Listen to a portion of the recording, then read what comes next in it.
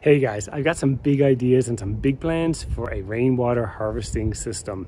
I live out here on two acres of land and it almost feels like I need a rainwater management plan. Here in the Canadian prairies, we get torrential rains in the spring and hot, dry drought conditions in the summer. I have hundreds of trees to protect from that standing water and I also need to keep them watered during the time of drought. When we do get the heavy rains for weeks on end, I can pump that excess water that builds up in my yard to my front ditch through my shallow well. I actually dug a shallow well by hand and you can catch up on that in a previous video.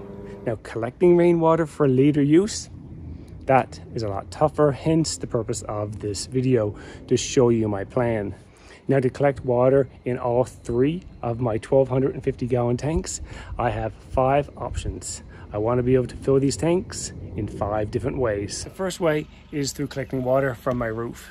There's a roof up above there that will collect water and that will come down here into this eaves trough and then down along here into the weeping tile and into this tank. Secondly, I want to catch water from this half of my roof as well. The water on the upper part of the roof runs down to the lower part and then down to a downspout here. I want to collect it in a catch basin, have it flow underground and then get pumped into my tanks. Now the third method for water collection is using the groundwater from underneath my home.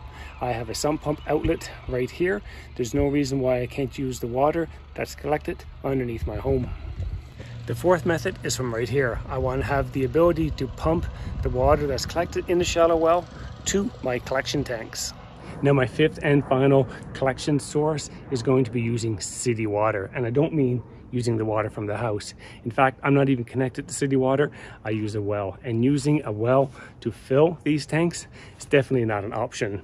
I'll use that water for watering vegetables around harvest time, but not for watering trees or watering grass.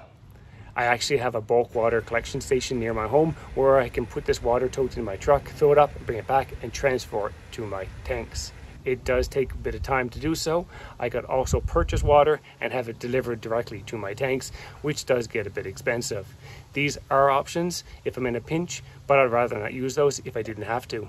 So with all that said, I also want the ability to dispose of any water from my basement sump or if the three tanks are full. For this, I want an overflow where the water can leave this area and be taken away down to the sump pit behind my vegetable garden and then I can pump it to the front ditch and it can just run off. So that's the plan for collecting water and disposing of any overages. Now, what about using the water?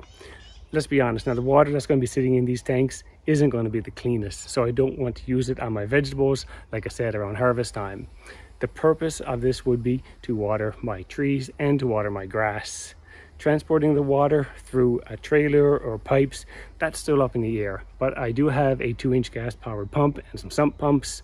Um, and I could just use some fire hoses for now to fill up my trailer to move the water around, or I can just move the water hoses around and uh, water trees that are within a couple of hundred feet of the tanks. So hopefully an irrigation system is in the future, but we'll wait and see on that. All right, guys, so that's the short-term plan. I'm even coming up with ideas for next summer. Really looking forward to getting going on these projects. This is my pastime and my passion working on these projects, working on the vegetable garden, on the rainwater harvesting system, and just looking after the yard in general. Now, I think I'm going to post the progress of my projects in the format as a vlog. It's a lot quicker to edit, and I don't need to wait for the projects to be 100% complete before I post them. This way you're also going to see the other projects that I'm working on. The footage is going to be raw, real life, and you're going to get to see all the issues that I run into. Hope I didn't just jinx myself. Now the purpose of me posting these videos is for your entertainment and so I can keep a personal diary of the work that I do in the yard. Sometimes I'm very particular about the work, put a lot of detail into it, a lot of planning. Sometimes I use a lot of duct tape and temporary solutions. In any case, please like and subscribe and follow along on this journey living out here in the acreage life. Up next, I got a project where I install electricity into my shed. I use conduit underground and I'm going to use that same trench for my rainwater harvesting system to pump water into my tanks and for the overflow. So make sure you jump into that video here next. Thanks for watching. And sometimes the airplanes fly over and ruin my shot.